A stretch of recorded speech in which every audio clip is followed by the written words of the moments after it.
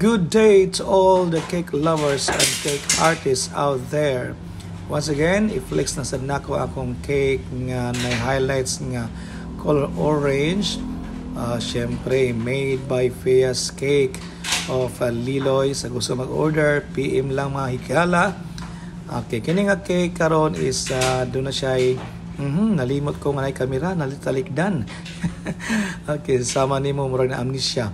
Okay, i-flex na ko ang kuang cake na something na i-decor. Pero ang gigamit is flower lang nga plastic. Sama sa imong batasan nga plastic. Joke lang. Okay flowers na siya. Um, naisamukan nga bata. Si Amira to.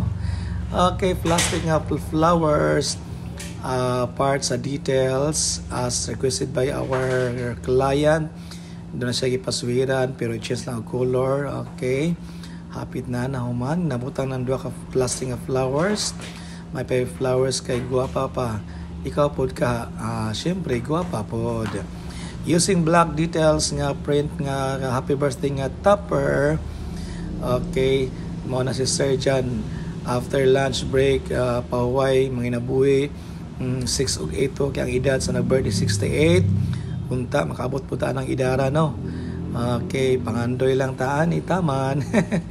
Alright nibutang na ang picture sa mga nag birthday okay ayan. Mauna ni ang resulta sa atong cake nga guwapa. Simple pero igat. Aw dili di ay.